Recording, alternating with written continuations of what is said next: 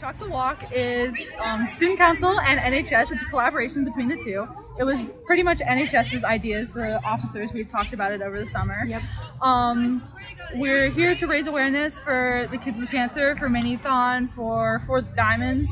Um, it's during Raider period. It's during Raider period, so kids don't have to miss class, and we have multiple clubs involved besides just National Honor Society. I know that we have Key Club here, Spanish Honor Society here, uh, GSA is here. Yeah, Be the Change is here. Change is here. Student Council is obviously helping out. Right, because we're collaboration. And we're just here to make money for the kids and for Mini-thon and do our part to make our community better.